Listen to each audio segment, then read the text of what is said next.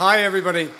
I am Councillor Gerard Sheehan, and I am proud to stand with you here today. Um, I'm also the proud father of five beautiful children. Uh, and they mean the absolute world to me. They're the most important thing in my life. I have my little notes. My life changed forever when I first held my daughter in my arms. And now, with my beautiful five children, um, my sons, my daughters, I'm humbled by the responsibility that I have as a parent of them. I am touched always by the power and the blessing that it is to be a father.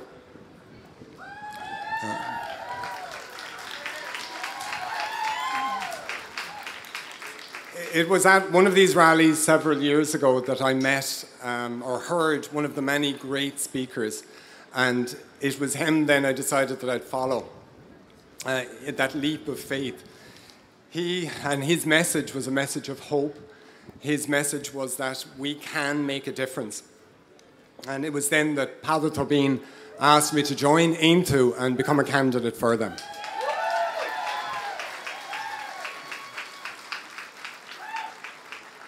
The message that he had, the message that we all have, um, it is that it is extremely important to stand up for those who do not have a voice for themselves, our precious unborn children. Each life is sacred. Each life is worth or has the right to protection. And I urge you all to help defend the most innocent. Get involved. Sign up with Aontú. We've got members all over there. Get active. Help us to protect and defend the unborn children who cannot defend themselves. Thank you.